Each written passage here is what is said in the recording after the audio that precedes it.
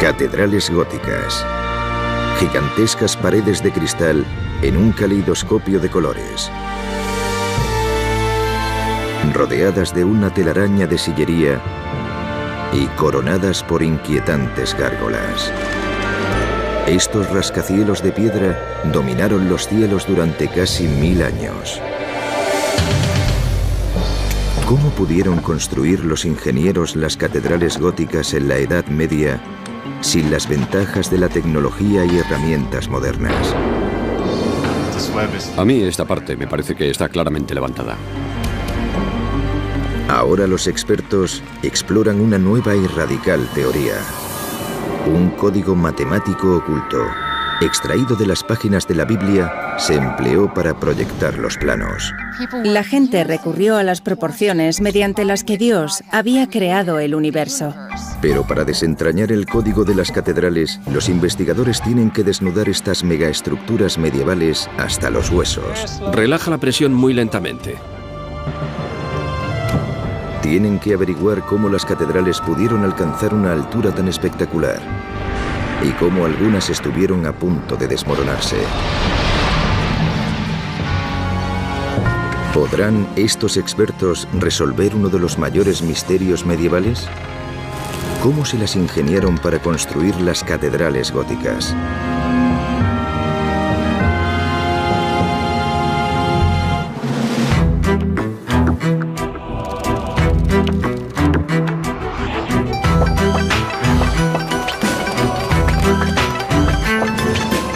Secretos de la Antigüedad. Los secretos de las catedrales. En los albores de la construcción de catedrales, a finales de la Edad Media, alrededor del siglo XII, trabajar la piedra era una labor muy difícil. Nadie lo sabe mejor que estos artesanos modernos. Al sudeste de París, en Francia, están construyendo un castillo medieval usando solo herramientas tradicionales y materiales locales. Piedra, hierro y madera.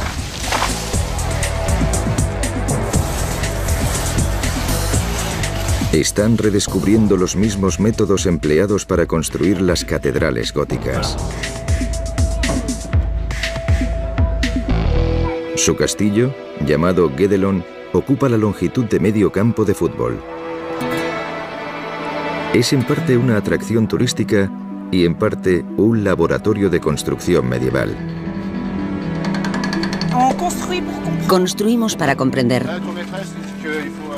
Es un yacimiento arqueológico experimental.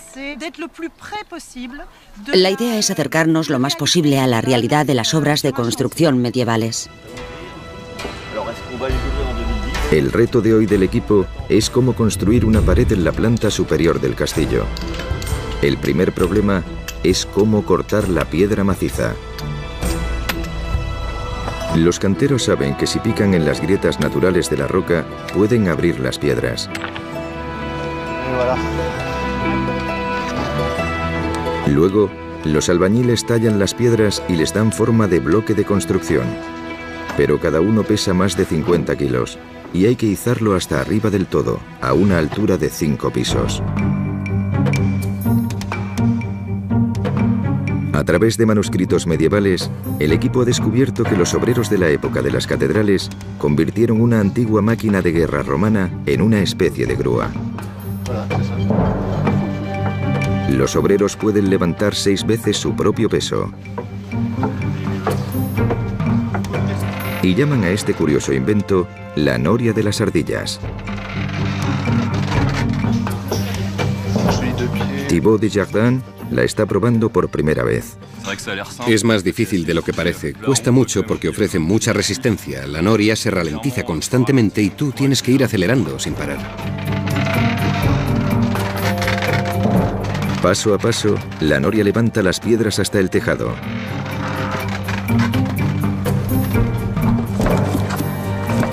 Mientras tanto, otro equipo mezcla el mortero. Es una receta largo tiempo perdida de piedra caliza quemada y arena. El mortero iguala los huecos entre las piedras, pero no es un super pegamento. Es un mortero que se seca muy despacio. De hecho, dentro de estas paredes hay muy poco aire y el mortero podría tardar más de mil años en secarse por completo. En lugar del mortero, lo que mantiene unidas las piedras es algo mucho más básico. La presión, el peso del castillo. 60.000 toneladas mantienen cada piedra en su sitio. Pero cada capa de piedra tiene que estar nivelada o la pared entera se vendrá abajo. En épocas pregóticas, la única forma de construir en altura era mediante gruesos muros. Y como resultado los edificios eran voluminosos y oscuros. Luego, todo cambió.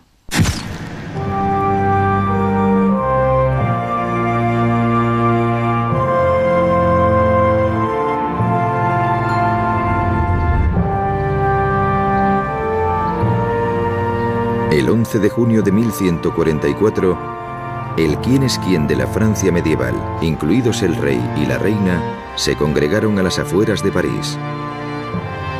Aquí, en Saint-Denis, la iglesia oficial regia presenciaron una revolución de la ingeniería.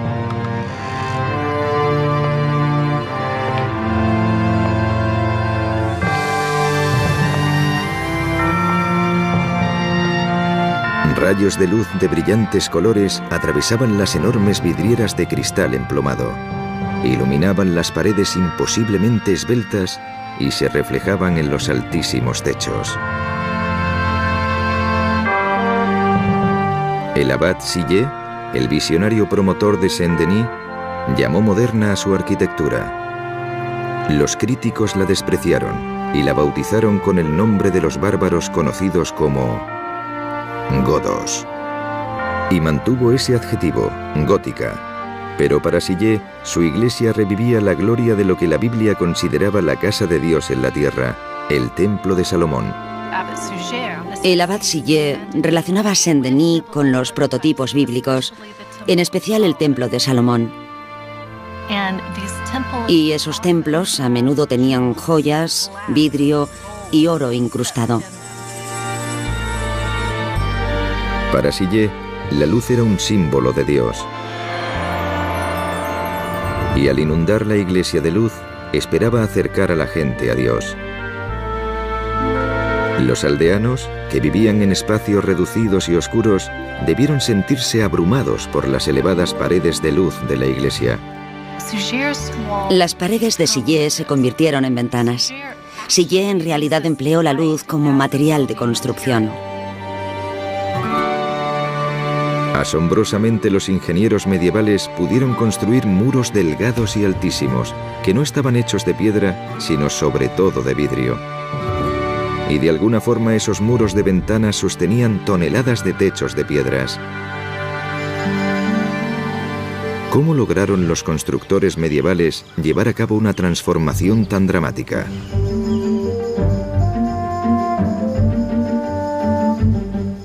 La respuesta puede hallarse en esta capilla, que se encuentra a medio camino entre los muros gruesos y voluminosos de Guédelon y las paredes altas y esbeltas de Saint-Denis.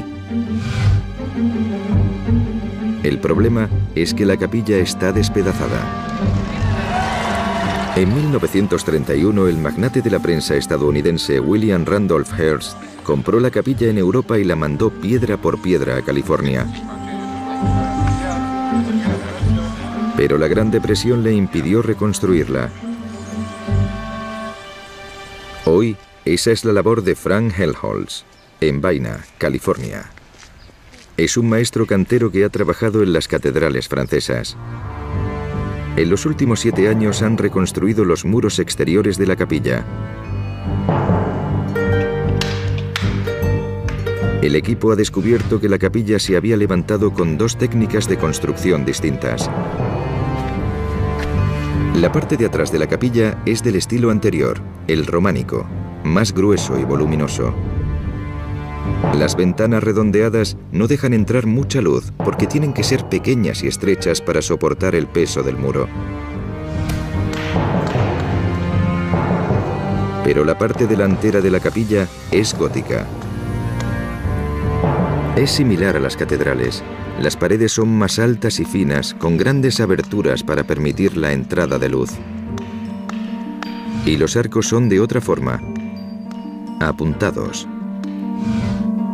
¿Podría ser ese arco ojival la clave de la construcción de los altos muros de las catedrales? Para averiguarlo, Helmholtz y su equipo han fabricado una maqueta de un arco de catedral. Como los constructores de catedrales, el equipo fabrica un marco de madera que sostiene el arco hasta que cada piedra está en su sitio. Esta es la SR3. Muy bien, vamos a colocarla ya. Esta maqueta es 16 veces menor que el arco de una catedral. Creo que esta parte podríamos hacerla un poco mejor.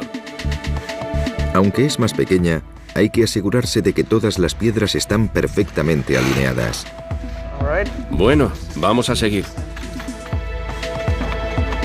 Esta parte de arriba está un poco rara. Vamos a poner dos más en este lado. Aquí, donde las piedras comienzan a ir en diagonal, entra en juego la gravedad, introduciendo una presión conocida como línea de tensión. En un arco romano de medio punto, la línea de tensión se dirige hacia los lados y separa los pilares. Si es demasiado alto o ancho, el arco empieza a bombarse por el centro y se hunde. Pero el arco apuntado redirige la línea de tensión hacia el suelo en lugar de hacia los lados. Y eso permite a los ingenieros construir más alto. La gran ventaja del arco apuntado es que guía las fuerzas de empuje del arco más hacia abajo que hacia afuera. Separa un poco los dedos. El arco apuntado fue el primer avance que facilitó la construcción de catedrales altas. Pero ese arco también tiene sus limitaciones. Por ejemplo, ahora Helmholtz tiene un problema. El arco está presionando hacia afuera. Se puede notar cómo se mueve por aquí.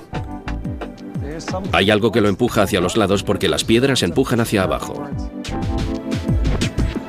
Aunque el arco apuntado redirige la gravedad, crea tensión en lo alto de los pilares. Es un problema que el equipo tendrá que resolver o las piedras se abrirán y el arco se vendrá abajo. Si medimos aquí, se ha separado unos 6 milímetros. Las fuerzas de esta maqueta a escala no son más que una fracción de las de una estructura real. A 128 kilómetros al norte de París, esas fuerzas pueden estar empujando a una gran catedral medieval a su punto de fractura. En 1220, los habitantes de la próspera ciudad de Amiens decidieron construir una nueva catedral, lo bastante grande para que cupiera la población entera de 20.000 personas. Y no eran los únicos.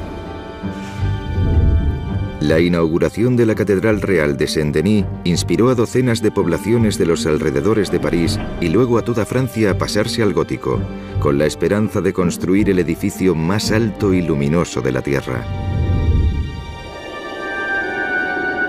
Como muchas catedrales, la de Amiens tiene planta de cruz. Y en su mismo centro los obreros construyeron altos muros con arcos apuntados para crear una enorme nave central de 12 pisos de alto. Pero el profesor Stephen Morrie cree que hubo que pagar un elevado precio por la competencia por la altura.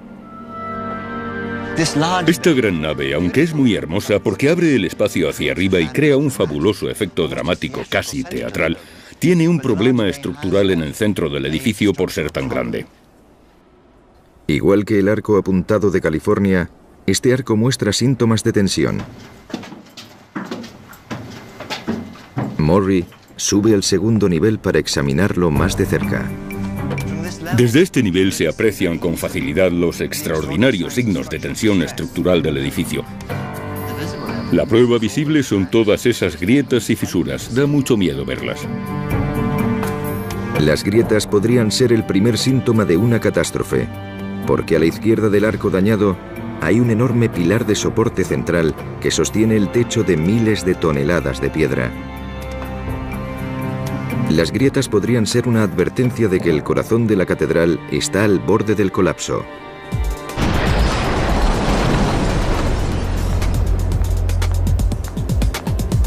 Murray tiene prisa por investigarlo. Y lleva un equipo de científicos que emplean la última tecnología de escaneado por láser. Esta máquina nos puede proporcionar una visión completa de la estructura. Nos mostrará las deformaciones del edificio y empezaremos a comprender sus problemas estructurales. Morri recurre a la ayuda de Andrew Talon, un experto en arquitectura medieval, para escanear todos los recovecos de la Catedral de Amiens. Envía un pequeño rayo láser desde su ojo y mide miles de veces por segundo la distancia entre él y cualquier cosa con lo que choca. Y recorre la pared lentamente tomando todo tipo de medidas que luego quedan representadas en tres dimensiones mediante una serie de coordenadas X, Y y Z. Ahora tenemos que medir la altura. Ya estamos realizando la maqueta. Está apuntando en esta dirección. En solo cuestión de minutos, el láser escanea todo el espacio central de la Catedral de Amiens. Este es el momento más emocionante del escaneo, cuando comienza a aparecer el edificio. Es una maqueta tridimensional altamente precisa, una catedral virtual. ¿Pero puede revelar los problemas estructurales que acechan a Amiens? Los edificios son traviesos, se portan mal. Los arcos intentan empujar hacia afuera y el edificio a veces es culpable de la mala conducta que puede producir el derrumbe. Para comprender ese mal comportamiento, Morri y Talon realizan un análisis estructural de vuelta en su laboratorio de Nueva York. Es una nueva herramienta para comprender con exactitud lo que pasa. Es una imagen maravillosa se centran en los pilares centrales en busca de señales de daños. Podemos medir la distancia a distintos niveles de altura y empezaremos por la base. Miden la distancia entre los pilares a tres niveles. Si los pilares están rectos, la distancia debería ser la misma. Tomaremos la medida del punto más bajo, que es 11,6 metros, como medida de referencia. Si subimos 2 o 3 metros por encima, la medida es 11 metros y medio. La diferencia es de 10 centímetros. Es considerable. Es una distancia considerable. La maqueta muestra de inmediato que los pilares no están rectos. Pero es todavía peor. Vamos a subir a lo más alto del edificio y medir la distancia justo bajo los capiteles. Seleccionaremos un punto aquí y uno justo al otro lado. La distancia es de 11,7 metros, así que estamos hablando de una diferencia de 20 centímetros. La maqueta del láser revela que los arcos se mueven en dos direcciones distintas, hacia adentro por abajo y hacia afuera por arriba. En ambos casos, las piedras de los arcos circundantes están empujando hacia afuera y ejerciendo presión sobre los pilares. Es la receta de un desastre.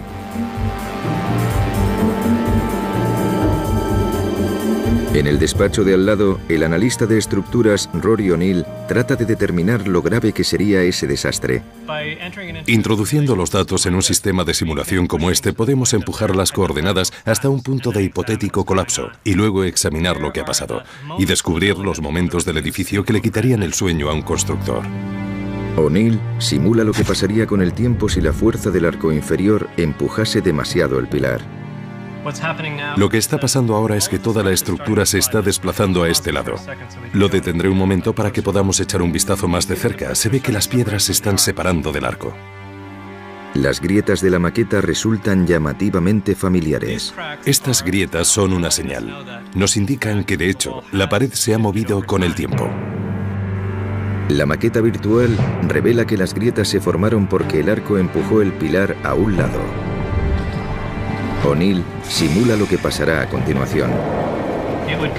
Continuaría empujando hasta que llegase un momento en que cedería y todo se vendría abajo.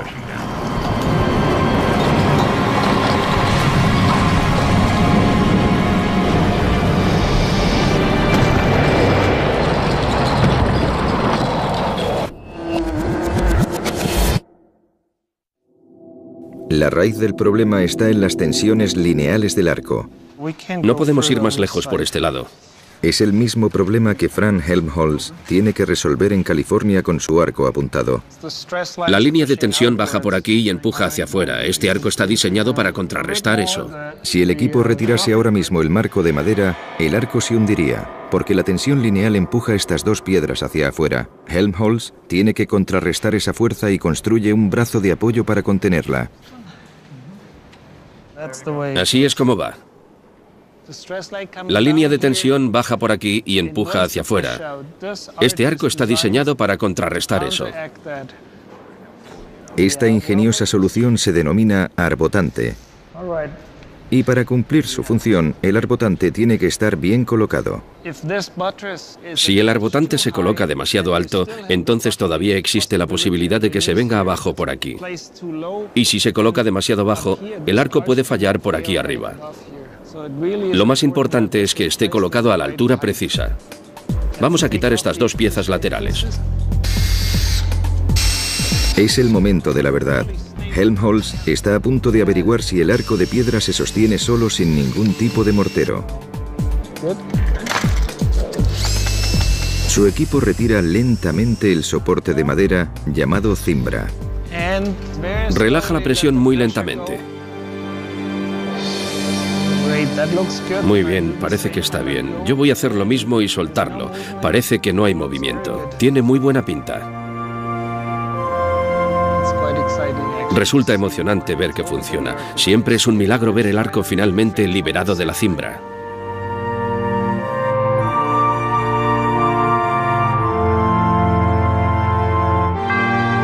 Los arbotantes alcanzaron proporciones impresionantes en las grandes catedrales góticas.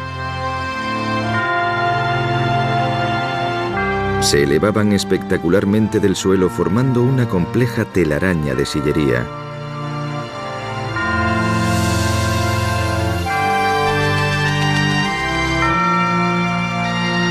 Junto al arco apuntado, el arbotante fue la segunda innovación del gótico que permitió a los arquitectos medievales captar la luz del cielo y alcanzar alturas celestiales.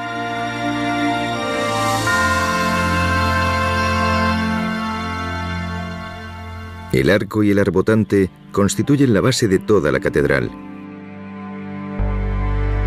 Pero es un castillo de naipes, en el que la colocación de cada piedra juega un papel crítico. Y para demostrar cómo de crítico es, Helmholtz mueve una sola piedra. ¿Lo hacemos? Allá vamos.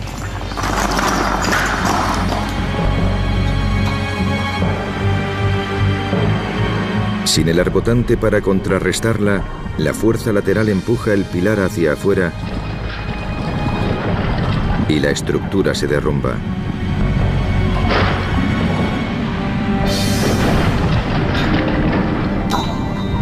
La misma fuerza lateral que ha causado el derrumbe es la que causa que los pilares centrales de Amiens se estén deformando y amenacen con un desastre.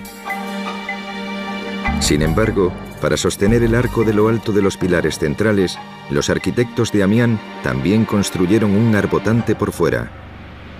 Entonces, ¿qué ha fallado? De vuelta en el laboratorio de la Universidad de Columbia, Stephen Morry y Andrew Talon lo investigan. Su maqueta en 3D revela de inmediato un error crítico. El arbotante exterior no está en el lugar adecuado. Lo colocaron muy alto, demasiado arriba. Es decir, el arbotante no está sirviendo de nada. Los constructores originales colocaron demasiado alto el arbotante para contrarrestar la fuerza del arco del techo que empuja hacia afuera. Y más de dos siglos después, un maestro cantero tuvo que arreglarlo. Añadió otro arbotante más sólido, que colocó debajo del original, donde le proporcionaba un mejor soporte. El segundo cantero en cierto modo salvó el edificio. El arbotante inferior tiene el aspecto que debería tener un arbotante, parece sólido. Es una gran estructura maciza. Es un buen soporte. Con los nuevos arbotantes en su sitio, los constructores medievales estabilizaron la pared superior. Pero seguía sin existir soporte en la pared inferior, por lo que el muro comenzó a agrietarse. Al final de la Edad Media la gente se moría de miedo cuando veía las enormes grietas que se abrían en los arcos. Los constructores medievales de Amiens tuvieron que encontrar la forma de sostener el pilar antes de que se hundiera. Desesperados, los arquitectos se salieron de la norma gótica de construir en piedra. Recurrieron al metal. El metal rara vez se había usado como material de construcción porque los herreros no disponían de una técnica para hacerlo lo suficientemente largo o grueso. Y forjar hierro era un proceso lento. Tenía que martillearse a mano.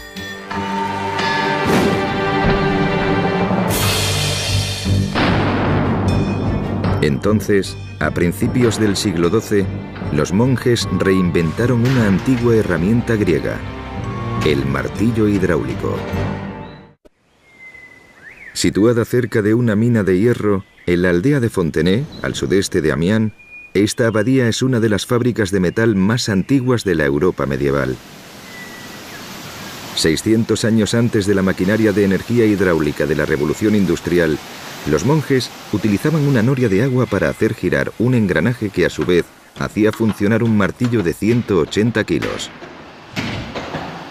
Entonces los obreros pudieron producir hierro resistente con rapidez y en cantidad suficiente para su empleo en grandes edificios.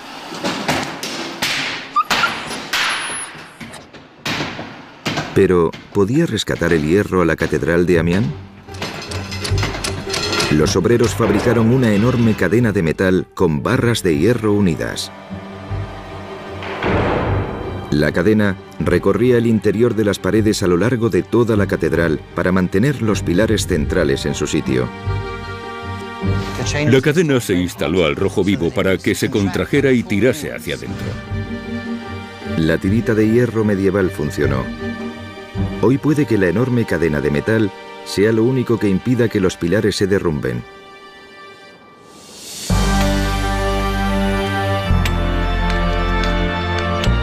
Tal vez el hierro salvase a Mian, pero en el fondo el verdadero logro del gótico es el dominio de la arquitectura en piedra. Gracias al arco apuntado y al arbotante, fue posible construir estos muros majestuosos inundados de luz.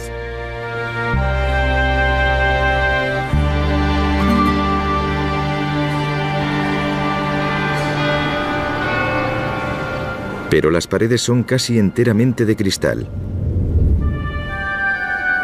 ¿Cómo eran capaces de sostener inmensos techos de piedra? Daos prisa. Así está bien. Muy bien. Vale, empecemos a movernos. Para resolver este último misterio de la arquitectura, el equipo californiano que está reconstruyendo una capilla del siglo XII va a instalar uno de sus últimos pilares centrales. Un poco más arriba. Vale, para, así está bien. Ahora están colocando en su sitio el capitel. Hace cinco años, cuando empezamos, costaba imaginar que llegaría este instante. Es la primera vez que los vemos juntos. Es asombroso.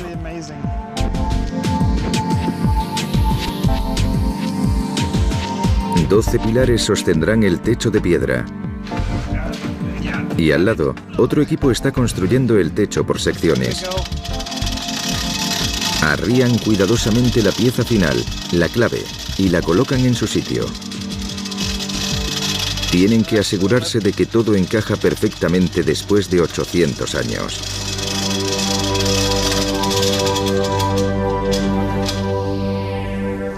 Perfecto, encaja, ha quedado bien. El cielo es una bóveda de crucería. Está hecha con dos arcos apuntados que se cruzan.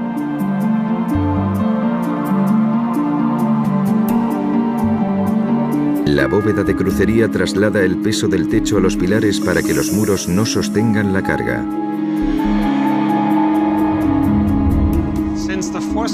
Como las fuerzas se concentran sobre estos nervios, entre este punto y ese otro se pueden abrir ventanas. La bóveda de crucería es la tercera innovación del gótico. Trabajando con el arco apuntado y el arbotante, los arquitectos crearon un esqueleto que sostiene el peso del edificio y lo redirige hacia el suelo. Después, los artesanos góticos pudieron rellenar ese espacio con enormes y coloristas vidrieras. Estas paredes de cristal muestran relatos de la Biblia como las historias de Adán y Eva, el arca de Noé o la resurrección de Cristo. En una época en la que poca gente sabía leer y escribir, las vidrieras de cristal emplomado se convirtieron en los medios de comunicación multimedia de su era, la Biblia escrita con luz.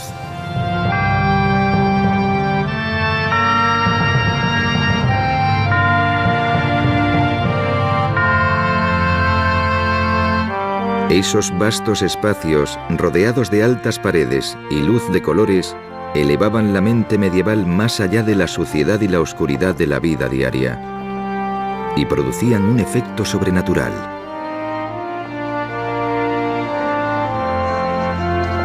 Jacqueline Jung es una experta en catedrales góticas. Lo que más impresionaba a un visitante normal era su magnitud, su tamaño. Cuando asistían a misa y vivían esa experiencia de imágenes y sonidos envueltos en el aroma del incienso, la gente se creía de verdad que estaba visitando el cielo en la tierra.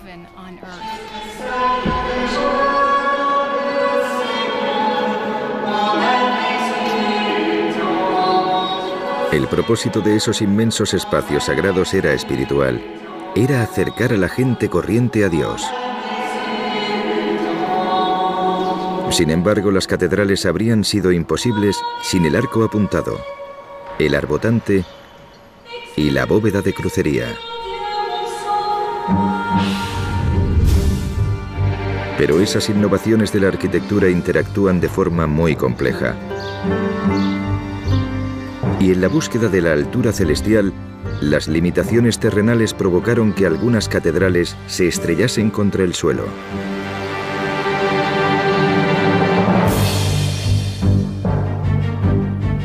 Mientras la Catedral de Amiens estaba en obras, a solo 50 kilómetros de distancia, los habitantes de Beauvais también querían construir su propio rascacielos de piedra, más alto y más hermoso que el de sus vecinos. Estamos ante la catedral más hermosa del gótico. Se eleva como si fuera un cohete. Pero la altura de Beauvais tuvo un alto coste. Por encima de estos feligreses hay unos modernos corchetes que tal vez sean lo único que impide que la catedral se derrumbe. Son un inquietante recordatorio de una catástrofe medieval. El día de la ascensión de 1573, cuando se estaba celebrando misa dentro, empezaron a caer piedras. En ese momento tenía lugar una solemne procesión. Los clérigos empezaron a acelerar el ritmo, pero acabaron por salir corriendo en una nube de polvo. Milagrosamente, la única lesión fue un brazo roto, pero no fue la primera vez que se hundía la iglesia. Durante las obras, en 1284, parte de la bóveda de crucería del techo, de 12 pisos de altura, se vino abajo. Los pilares del edificio siguen estando plagados de problemas estructurales hoy en día. Hay un pilar inestable que sobresale el pilar se está inclinando hacia el oeste. Y son pilares muy esbeltos, pero están muy enfermos. Es un claro indicio de un futuro desastre. Pero Bobé no era la única población que cortejaba el desastre. La rivalidad regional empujó a muchos constructores medievales a alturas cada vez más peligrosas. ¿Pero por qué? Algunos expertos sospechan que estaban motivados por algo más que la simple ostentación terrenal. Escondido en la inmensidad de las grandes catedrales, puede haber un código matemático secreto que podría proporcionar la respuesta.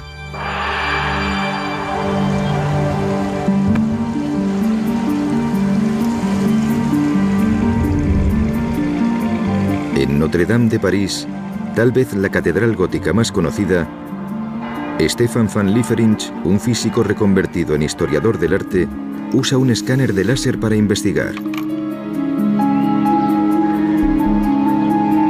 Mide la altura de los dos niveles de la iglesia. Cada uno mide 9,98 metros. Pero los constructores medievales usaban una unidad de medida distinta. Si se convierte a pies, que era la unidad de medida medieval, el nivel inferior mediría unos 30 pies y el nivel superior otros 30 pies. La altura combinada son 60 pies. Las cifras 30 y 60 resultan extrañamente familiares a Van Lieferinch. En una de las bibliotecas más antiguas de Francia, la Bibliothèque Mazarin, examina un libro medieval escrito por el sacerdote a cargo de la construcción de Notre Dame. Lo que tenemos aquí es un manuscrito de finales del siglo XII, un texto escrito por el canciller de Notre Dame, Peter Comestor. Se llama Historia Escolástica y el sacerdote lo escribió durante la construcción de la catedral. Se centra en un pasaje del Antiguo Testamento, una descripción detallada del Templo de Salomón en Jerusalén, al que la Biblia se refiere como la casa de Dios en la tierra. Y Van Lieferinch ha encontrado una pista inquietante. Medía 30 codos hasta el primer piso sobre el cual se levantó una segunda morada hasta el segundo piso también de 30 codos. El manuscrito revela que para los constructores de la Catedral de Notre Dame, las dimensiones del Templo de Salomón eran extremadamente importantes. 30 codos hasta el primer nivel y 60 codos hasta el segundo nivel. Y esas cifras se trasladaron a Notre Dame.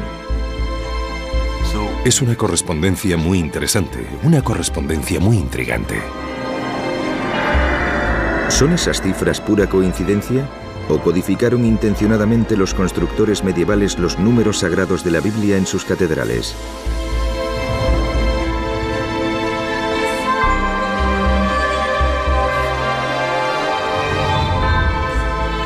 Al sudoeste de París hay más pistas encerradas en la joya de la corona de la arquitectura gótica, la Catedral de Chartres. Sus vidrieras emplomadas, en su mayor parte de más de 800 años de antigüedad, son mundialmente famosas. Pero Chartres tiene historias bíblicas grabadas no solo en vidrio, sino también en piedra. Estas complejas estatuas exteriores son emblemáticas de las catedrales góticas, floridos detalles finales que docenas de escultores tardaron décadas en terminar. Pero en Chartres, junto a las estatuas de Jesús, María y los apóstoles, la experta en gótico Jacqueline Jung investiga las de alguien completamente inesperado. Las de científicos griegos y romanos que antecedieron cientos de años al cristianismo, entre ellos Aristóteles, Euclides, y Pitágoras, el gran matemático. Esos paganos antiguos eran admirados por los sacerdotes medievales de Chartres. La Catedral de Chartres fue decorada por algunos de los mayores pensadores de su época, que conocían a fondo la filosofía, la ciencia y la literatura clásicas, y que aportaron esas ideas a la teología cristiana de formas completamente nuevas. Mientras se construía la catedral, los sacerdotes de Chartres estudiaban las ideas clásicas griegas y romanas.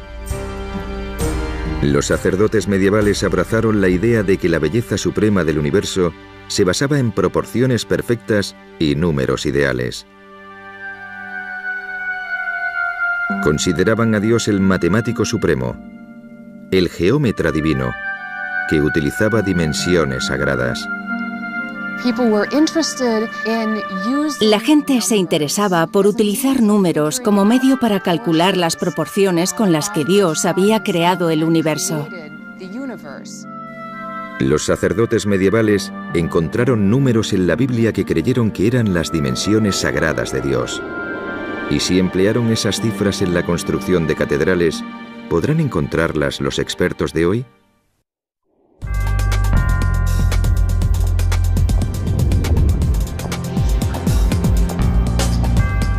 A la caza de dimensiones divinas, Stephen Morry regresa a Amiens, donde los constructores salvaron la catedral con una cadena de metal. Comienza midiendo la zona del mismo centro del crucero, donde los cuatro pilares centrales forman un cuadrado. El código geométrico en el que se basa la forma de este edificio incluye un gran cuadrado justo en medio.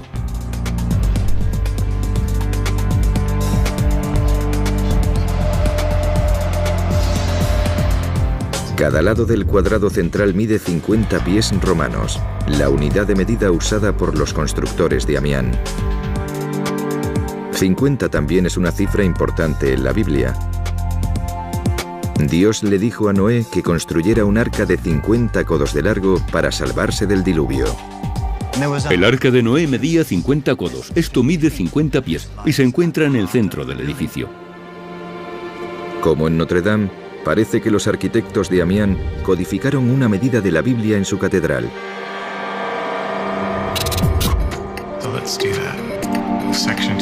Morri y Talon recurren a la maqueta del escáner de láser. Estamos usando una perspectiva... Usando esa tecnología, por primera vez pueden medir la altura de la catedral con precisión milimétrica. Vamos a ver si podemos escoger una de las claves y dibujar una línea hasta el suelo. Muy bien, así obtendremos la distancia hasta el pavimento. La distancia es de 42,55 metros. Una operación matemática convierte las unidades modernas en medidas medievales y da como resultado otra cifra divina. 144. En el Nuevo Testamento el cielo se llama la ciudad de Dios y su altura es 144. Esto es el libro de las revelaciones, la visión de San Juan el Divino. Cuando Juan mide la ciudad, descubre que son 144 codos.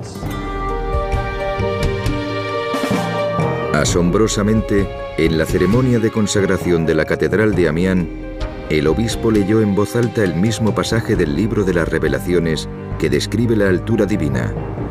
144. Nos encontramos con un edificio en el que claramente una cifra expresa algún tipo de objeto de deseo. Querían el 144. La búsqueda de dimensiones divinas continúa en Beauvais, la catedral que se hundió parcialmente. Vamos a tomar una medición aquí y otra en el suelo de debajo. Miden la altura. Hemos comprobado la altura y es 144,3. La misma cifra en Beauvais. Su objetivo era ese número celestial.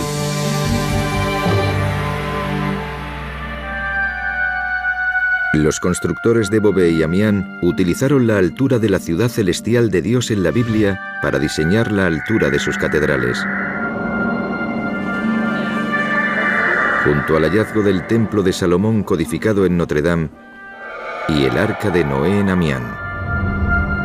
Los expertos han descubierto pruebas concluyentes de que algunos arquitectos medievales emplearon medidas de la Biblia para proyectar los planos de sus catedrales.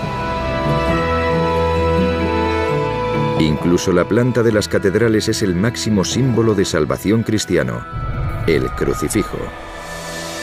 Un edificio es un vehículo, te transporta a otro sitio. Y una catedral, un medio, un transporte, nos lleva al cielo.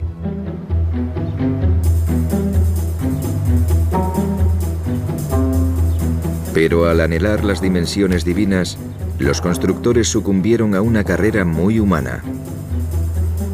Tanto en Amiens como en Beauvais.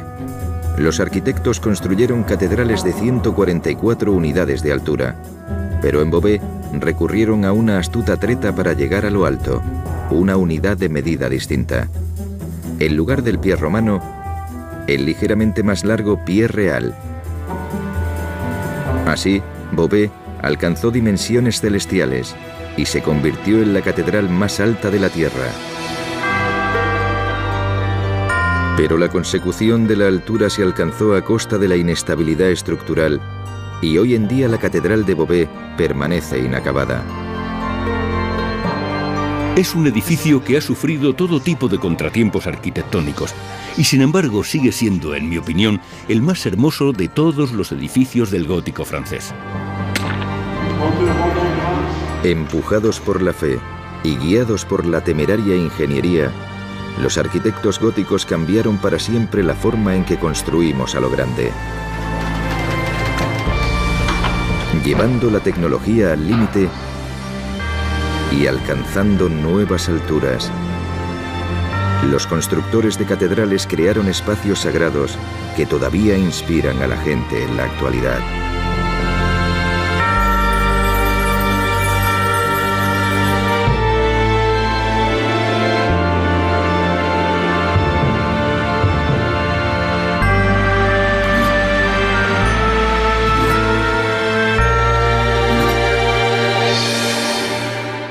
Seguía sin existir soporte en la pared inferior, por lo que el muro comenzó a agrietarse.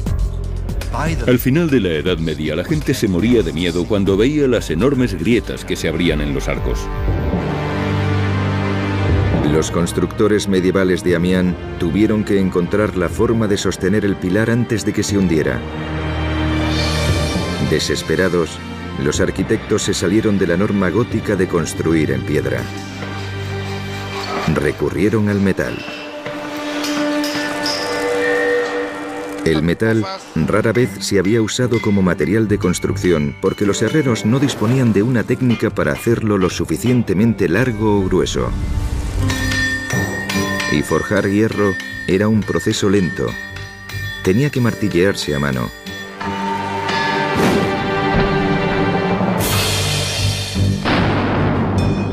Entonces, a principios del siglo XII, los monjes reinventaron una antigua herramienta griega, el martillo hidráulico. Situada cerca de una mina de hierro, en la aldea de Fontenay, al sudeste de Amiens, esta abadía es una de las fábricas de metal más antiguas de la Europa medieval. 600 años antes de la maquinaria de energía hidráulica de la Revolución Industrial, los monjes utilizaban una noria de agua para hacer girar un engranaje que a su vez hacía funcionar un martillo de 180 kilos. Entonces los obreros pudieron producir hierro resistente con rapidez y en cantidad suficiente para su empleo en grandes edificios.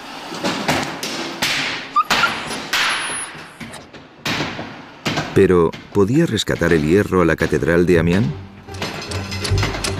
Los obreros fabricaron una enorme cadena de metal con barras de hierro unidas. La cadena recorría el interior de las paredes a lo largo de toda la catedral para mantener los pilares centrales en su sitio. La cadena se instaló al rojo vivo para que se contrajera y tirase hacia adentro. La tirita de hierro medieval funcionó. Hoy puede que la enorme cadena de metal sea lo único que impida que los pilares se derrumben.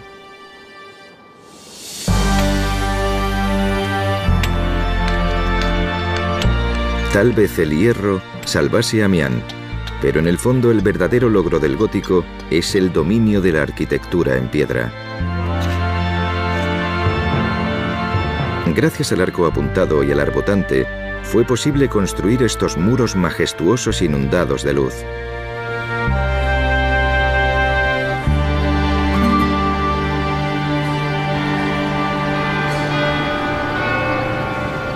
Pero las paredes son una de la arquitectura gótica, la Catedral de Chartres. Sus vidrieras emplomadas, en su mayor parte de más de 800 años de antigüedad, son mundialmente famosas. Pero Chartres tiene historias bíblicas grabadas no solo en vidrio, sino también en piedra. Estas complejas estatuas exteriores son emblemáticas de las catedrales góticas, floridos detalles finales que docenas de escultores tardaron décadas en terminar. Pero en Chartres, junto a las estatuas de Jesús, María y los apóstoles, la experta en gótico Jacqueline Jung investiga las de alguien completamente inesperado las de científicos griegos y romanos que antecedieron cientos de años al cristianismo, entre ellos Aristóteles, Euclides y Pitágoras, el gran matemático. Esos paganos antiguos eran admirados por los sacerdotes medievales de Chartres. La Catedral de Chartres fue decorada por algunos de los mayores pensadores de su época, que conocían a fondo la filosofía, la ciencia y la literatura clásicas, y que aportaron esas ideas a la teología cristiana de formas completamente nuevas. Mientras se construía la catedral, los sacerdotes de Chartres estudiaban las ideas clásicas griegas y romanas, los sacerdotes medievales abrazaron la idea de que la belleza suprema del universo se basaba en proporciones perfectas y números ideales. Consideraban a Dios el matemático supremo, el geómetra divino, que utilizaba dimensiones sagradas. La gente se interesaba por utilizar números como medio para calcular las proporciones con las que Dios había creado el universo. Los sacerdotes medievales encontraron números en la Biblia que creyeron que eran las dimensiones sagradas de Dios. Y si emplearon esas cifras en la construcción de catedrales, ¿podrán encontrarlas los expertos de hoy?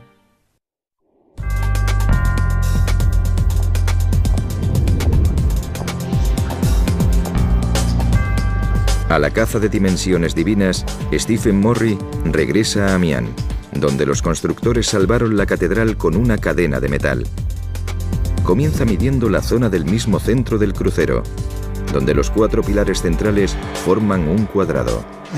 El código geométrico en el que se basa la forma de este edificio incluye un gran cuadrado justo en medio.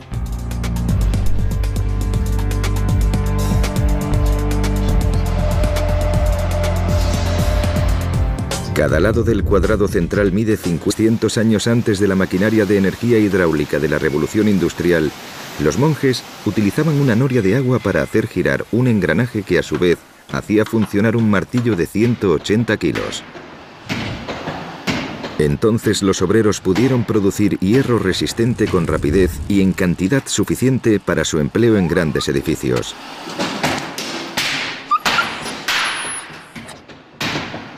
Pero, ¿podía rescatar el hierro a la catedral de Amiens? Los obreros fabricaron una enorme cadena de metal con barras de hierro unidas. La cadena recorría el interior de las paredes a lo largo de toda la catedral para mantener los pilares centrales en su sitio. La cadena se instaló al rojo vivo para que se contrajera y tirase hacia adentro.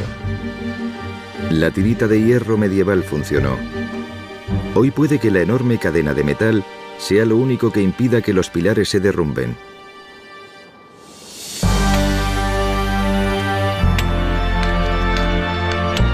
Tal vez el hierro salvase a Mian, pero en el fondo el verdadero logro del gótico es el dominio de la arquitectura en piedra. Gracias al arco apuntado y al arbotante, fue posible construir estos muros majestuosos inundados de luz.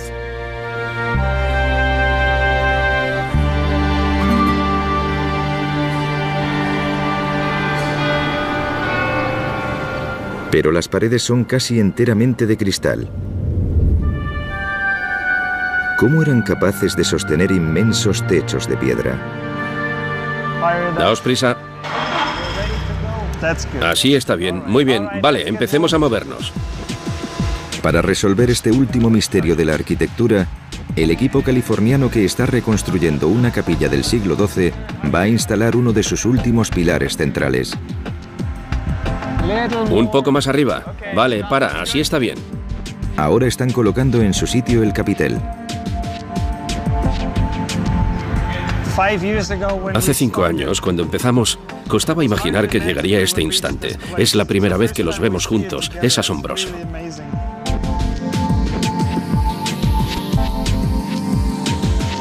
Doce pilares sostendrán el techo de piedra. Y al lado, otro equipo está construyendo el techo por secciones. Arrían cuidadosamente la pieza final, la clave, y la colocan en su sitio. Tienen que asegurarse de que todo encaja perfectamente después de 800 años.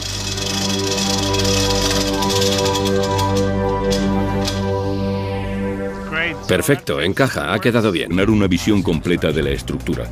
Nos mostrará las deformaciones del edificio y empezaremos a comprender sus problemas estructurales.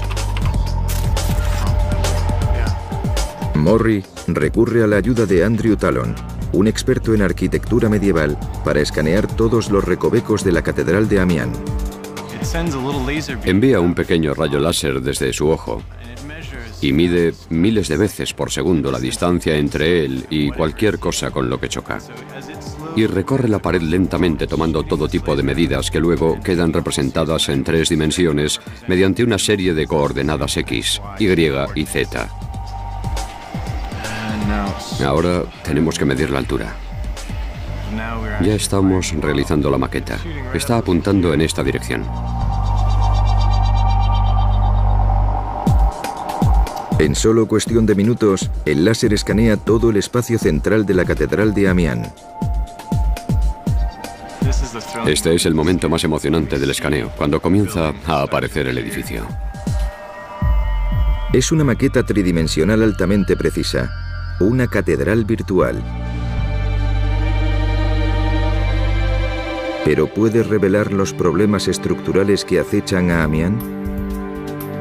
Los edificios son traviesos, se portan mal. Los arcos intentan empujar hacia afuera y el edificio a veces es culpable de la mala conducta que puede producir el derrumbe. Para comprender ese mal comportamiento, Morrie y Talon realizan un análisis estructural de vuelta en su laboratorio de Nueva York. Es una nueva herramienta para comprender con exactitud lo que pasa. Es una imagen maravillosa. Se centran en los pilares centrales en busca de señales de daños. Podemos medir la distancia a distintos niveles de altura y empezaremos por la base. Miden la distancia entre los pilares a tres niveles. Si los pilares están rectos, la distancia debería ser la misma. Tomaremos la medida del punto más bajo, que es 11,6 metros, como medida de referencia. Si subimos 2 o 3 metros por encima, la medida es 11 metros y medio. La diferencia es de 10 centímetros. Es considerable. Es una distancia considerable. La maqueta muestra de inmediato que los pilares no están rectos. Pero es todavía peor. Vamos a subir a lo más alto del edificio y medir la distancia justo bajo los capiteles. Seleccionaremos un punto aquí y uno justo al otro lado. La distancia es de 11,7 metros, así que estamos hablando de una diferencia de 20 centímetros. La maqueta del láser revela que los arcos se mueven en dos direcciones distintas, hacia adentro por abajo y hacia afuera por arriba en medidas medievales y da como resultado otra cifra divina, 144. En el Nuevo Testamento el cielo se llama la ciudad de Dios y su altura es 144. Esto es el libro de las revelaciones, la visión de San Juan el Divino. Cuando Juan mide la ciudad, descubre que son 144 codos. Asombrosamente, en la ceremonia de consagración de la Catedral de Amiens, el obispo leyó en voz alta el mismo pasaje del libro de las revelaciones que describe la altura divina. 144. Nos encontramos con un edificio en el que claramente una cifra expresa algún tipo de objeto de deseo. Querían el 144. La búsqueda de dimensiones divinas continúa en Beauvais, la catedral que se hundió parcialmente. Vamos a tomar una medición aquí y otra en el suelo de debajo. Miden la altura. Hemos comprobado la altura y es 144,3. La misma cifra en Beauvais. Su objetivo era ese número celestial.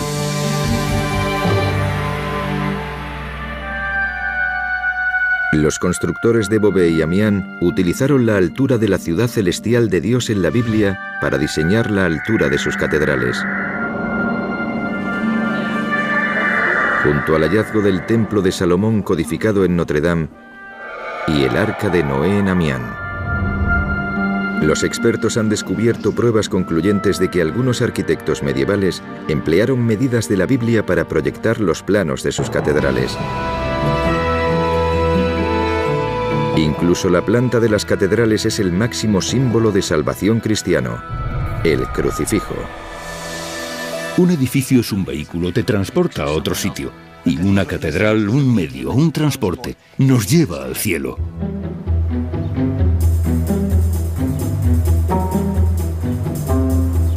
Pero al anhelar las dimensiones divinas, los constructores sucumbieron a una carrera muy humana.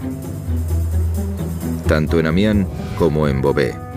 Los arquitectos construyeron catedrales de 144 unidades de altura, pero en Beauvais recurrieron a una astuta treta para llegar a lo alto, una unidad de medida distinta. En lugar del pie romano, el ligeramente más largo pie real. Así, Beauvais alcanzó dimensiones celestiales y se convirtió en la catedral más alta de la Tierra. Pero la consecución de la altura se alcanzó a costa de la inestabilidad estructural y hoy en día la Catedral de Beauvais permanece inacabada. Es un edificio que ha sufrido todo tipo de contratiempos arquitectónicos. Cada lado del cuadrado central mide 50 pies romanos, la unidad de medida usada por los constructores de Amián. 50 también es una cifra importante en la Biblia. Dios le dijo a Noé que construyera un arca de 50 codos de largo para salvarse del diluvio. El arca de Noé medía 50 codos, esto mide 50 pies y se encuentra en el centro del edificio. Como en Notre Dame, Parece que los arquitectos de Amiens codificaron una medida de la Biblia en su catedral.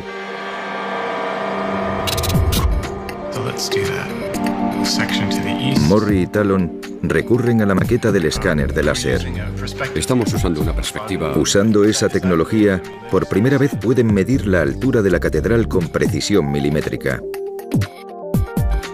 Vamos a ver si podemos escoger una de las claves y dibujar una línea hasta el suelo.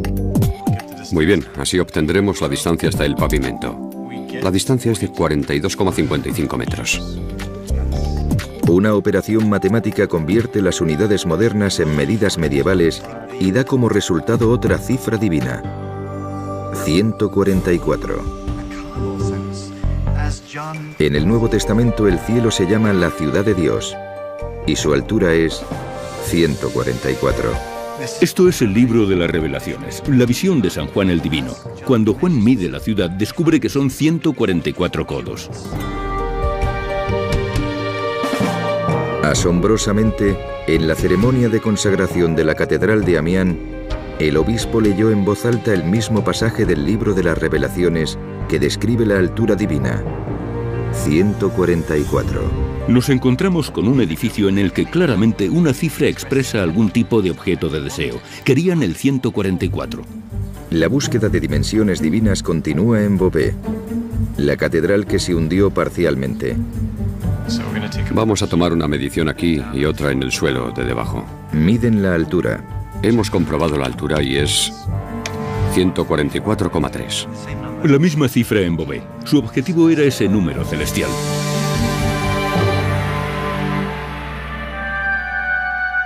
Los constructores de Beauvais y Amiens utilizaron la altura de la ciudad celestial de Dios en la Biblia para diseñar la altura de sus catedrales. Junto al hallazgo del templo de Salomón codificado en Notre Dame y el arca de Noé en Amiens. Los expertos han descubierto pruebas concluyentes de que algunos arquitectos medievales emplearon medidas de la Biblia para proyectar los planos de sus catedrales. Incluso la planta de las catedrales es el máximo símbolo de salvación cristiana. En Notre Dame de París, tal vez la catedral gótica más conocida, Stefan van Lieferinch, un físico reconvertido en historiador del arte, usa un escáner de láser para investigar. Mide la altura de los dos niveles de la iglesia, cada uno mide 9,98 metros. Pero los constructores medievales usaban una unidad de medida distinta. Si se convierte a pies, que era la unidad de medida medieval, el nivel inferior mediría unos 30 pies y el nivel superior otros 30 pies. La altura combinada son 60 pies. Las cifras 30 y 60 resultan extrañamente familiares a Van Lieferinch. En una de las bibliotecas más antiguas de Francia, la Bibliothèque Massarin, examina un libro medieval escrito por el sacerdote a cargo de la construcción de Notre Dame. Lo que tenemos aquí es un manuscrito de finales del siglo XII, un texto escrito por el canciller de Notre Dame, Peter Comestor. Se llama Historia Escolástica y el sacerdote lo escribió durante la construcción de la catedral. Se centra en un pasaje del Antiguo Testamento, una descripción detallada del templo de Salomón en Jerusalén, al que la Biblia se refiere como la casa de Dios en la tierra. Y Van Lieferinch ha encontrado una pista inquietante. Medía 30 codos hasta el primer piso sobre el cual se levantó una segunda morada hasta el segundo piso también de 30 codos. El manuscrito revela que para los constructores de la Catedral de Notre Dame, las dimensiones del Templo de Salomón eran extremadamente importantes. 30 codos hasta el primer nivel y 60 codos hasta el segundo nivel. y esas cifras se trasladaron a Notre Dame. Es una correspondencia muy interesante, una correspondencia muy intrigante. ¿Son esas cifras pura coincidencia? ¿O codificaron intencionadamente los constructores medievales los números sagrados de la Biblia en sus catedrales?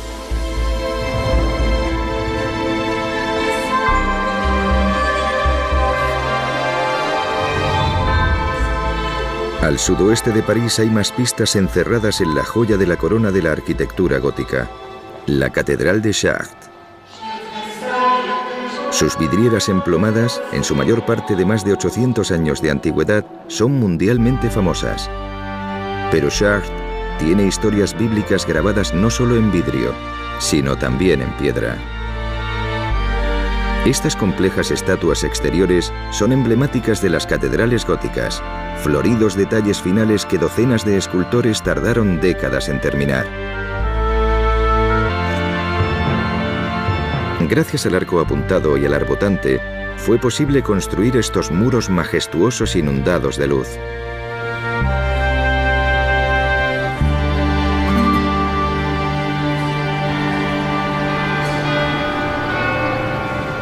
Pero las paredes son casi enteramente de cristal. ¿Cómo eran capaces de sostener inmensos techos de piedra? Daos prisa. Así está bien. Muy bien. Vale, empecemos a movernos. Para resolver este último misterio de la arquitectura, el equipo californiano que está reconstruyendo una capilla del siglo XII va a instalar uno de sus últimos pilares centrales. Un poco más arriba. Vale, para, así está bien. Ahora están colocando en su sitio el capitel. Hace cinco años, cuando empezamos, costaba imaginar que llegaría este instante. Es la primera vez que los vemos juntos. Es asombroso.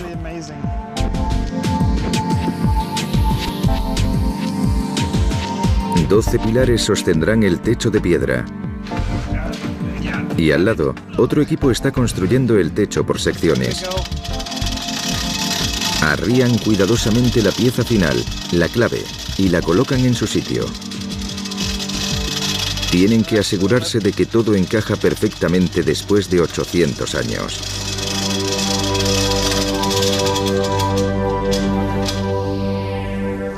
Perfecto, encaja, ha quedado bien. El cielo es una bóveda de crucería. Está hecha con dos arcos apuntados que se cruzan.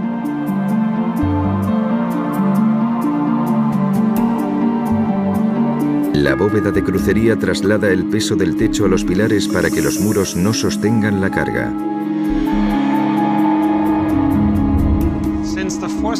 Como las fuerzas se concentran sobre estos nervios, entre este punto y ese otro se pueden abrir ventanas. La bóveda de crucería es la tercera innovación del gótico. Trabajando con el arco apuntado y el arbotante, los arquitectos crearon un esqueleto que sostiene el peso del edificio y lo redirige hacia el suelo. Después, los artesanos góticos pudieron rellenar ese espacio con enormes y coloristas vidrieras. Estas paredes de cristal muestran relatos de la Biblia como las historias de Adán y Eva, el arca de Noé o la resurrección de Cristo. El cielo es una bóveda de crucería. Está hecha con dos arcos apuntados que se cruzan.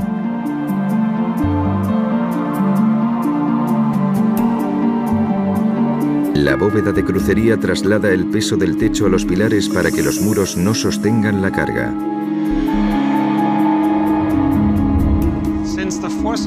Como las fuerzas se concentran sobre estos nervios, entre este punto y ese otro se pueden abrir ventanas. La bóveda de crucería es la tercera innovación del gótico. Trabajando con el arco apuntado y el arbotante, los arquitectos crearon un esqueleto que sostiene el peso del edificio y lo redirige hacia el suelo. Después, los artesanos góticos pudieron rellenar ese espacio con enormes y coloristas vidrieras. Estas paredes de cristal muestran relatos de la Biblia como las historias de Adán y Eva, el arca de Noé o la resurrección de Cristo. En una época en la que poca gente sabía leer y escribir, las vidrieras de cristal emplomado se convirtieron en los medios de comunicación multimedia de su era, la Biblia escrita con luz.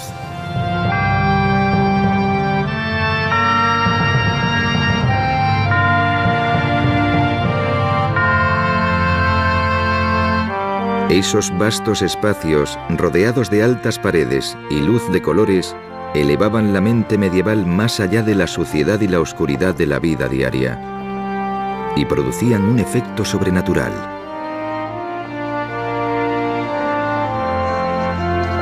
Jacqueline Jung es una experta en catedrales góticas. Lo que más impresionaba a un visitante normal era su magnitud, su tamaño. Cuando asistían a misa y vivían esa experiencia de imágenes y sonidos envueltos en el aroma del incienso, la gente se creía de verdad que estaba visitando el cielo en la tierra.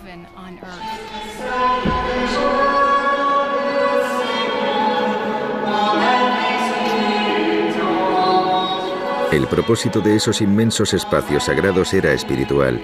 Era acercar a la gente corriente a Dios.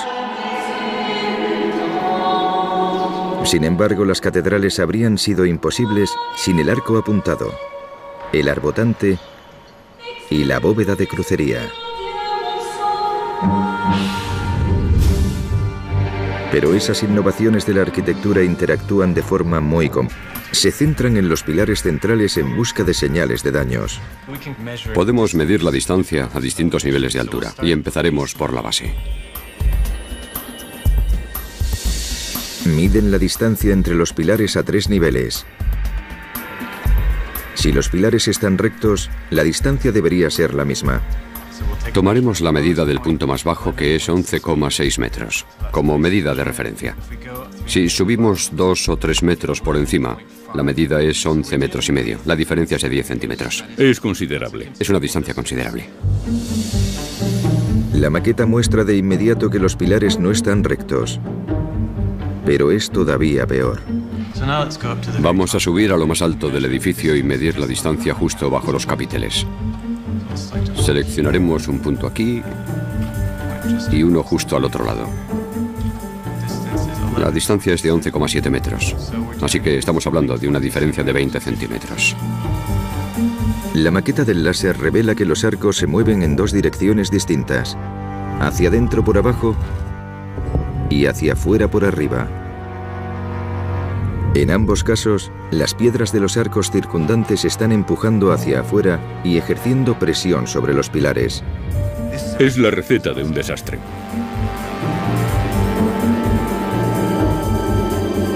En el despacho de al lado, el analista de estructuras Rory O'Neill trata de determinar lo grave que sería ese desastre.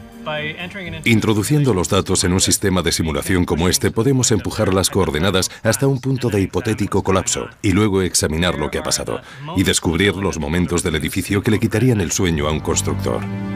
O'Neill simula lo que pasaría con el tiempo si la fuerza del arco inferior empujase demasiado el pilar. Lo que está pasando ahora es que toda la estructura se está desplazando a este lado. Lo detendré un momento para que podamos echar un vistazo más de cerca. Se ve que las piedras se están separando del arco. Las grietas de la maqueta resultan llamativamente familiares.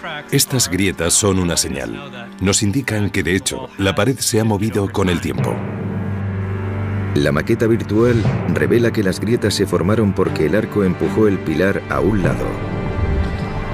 O'Neill simula lo que pasará a continuación. Continuaría empujando hasta que llegase un momento en que cedería y todo se vendría abajo.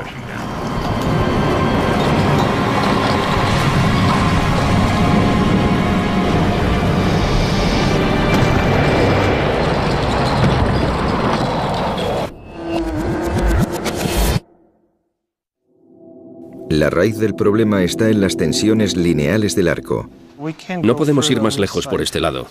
Es el mismo problema que Fran Helmholtz